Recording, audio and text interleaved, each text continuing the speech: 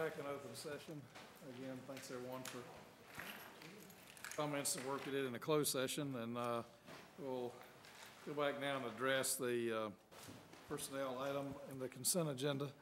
Excuse me, I'll ask Dr. Lassane to make any comments she'd Okay. like.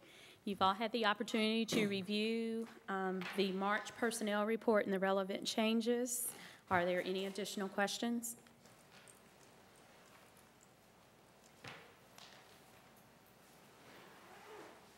No questions or comments, I'll entertain a motion that we uh, approve the uh, personnel items as listed.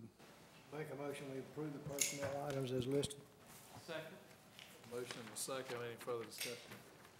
I have um, a comment.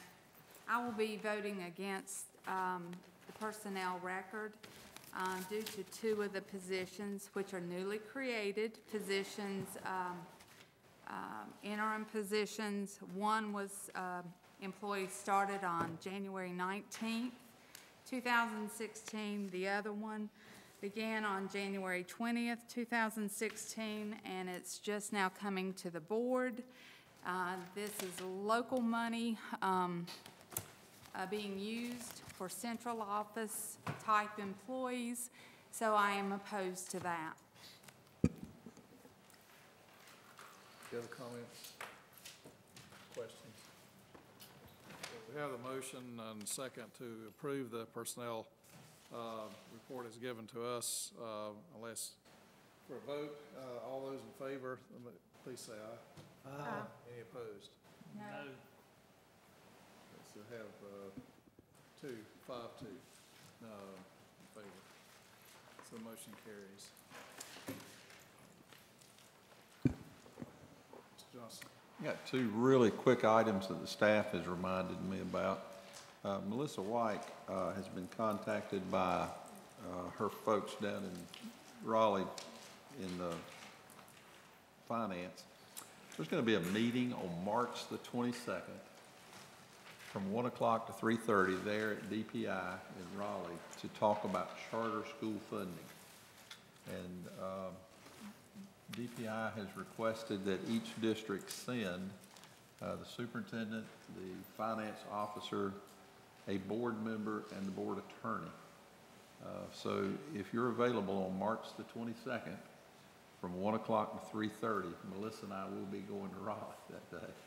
Next year. Yes. And uh, we do suspect that there's going to be a lot of heated debate uh, in the General Assembly about charter school funding and how charter schools get funded.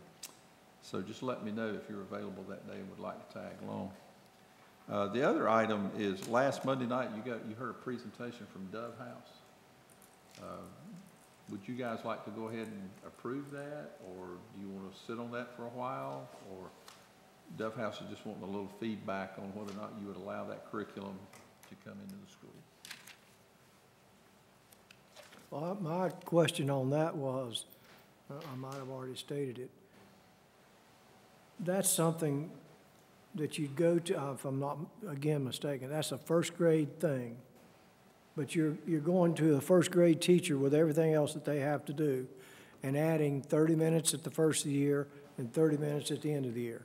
I know it doesn't sound like much, but that's, that's something else to the first grade curriculum that, that, that- that's, the time thing is my question. Uh, One of the pieces that Dove House was offering with that is they would actually provide the trainer person and provide the instructor to, to share that with. So it would not be uh, an additional requirement for the first grade teachers, it would just be 30 minutes worth of time, twice a year. You mean across the board or?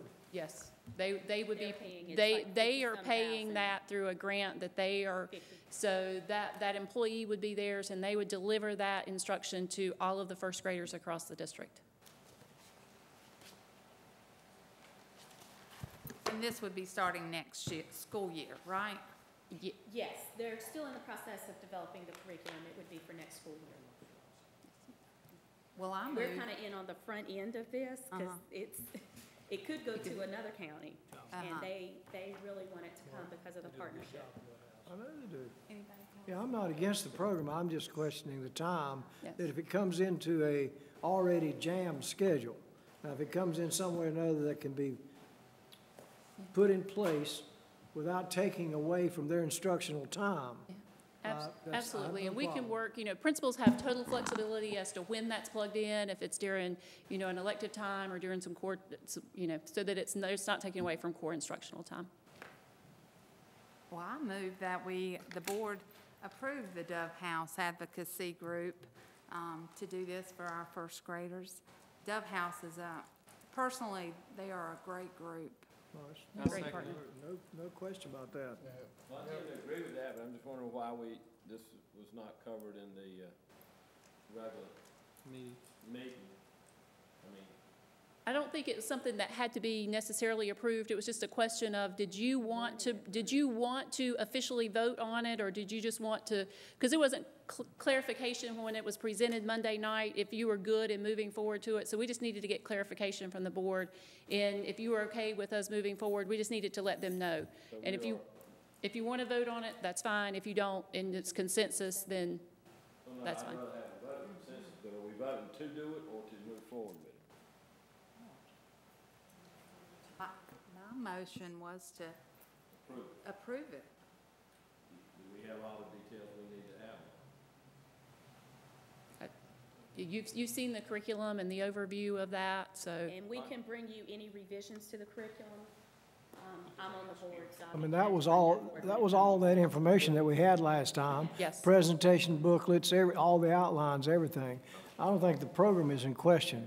Uh, So, I'm again, doing it, I just think we may need to come back into public session and have, And, and if you want to do that, come back with yeah, something. if you want to do that in Yeah. April, we can bring it back to the April meeting for you to officially approve. We just needed some direction to uh, say. how about, how about if we say, you got a consensus to move forward, but we need to put it on our regular agenda and talk about it at the Cal meeting to make it perfectly clear At the open meeting. At the- at the about form. it. at the opening?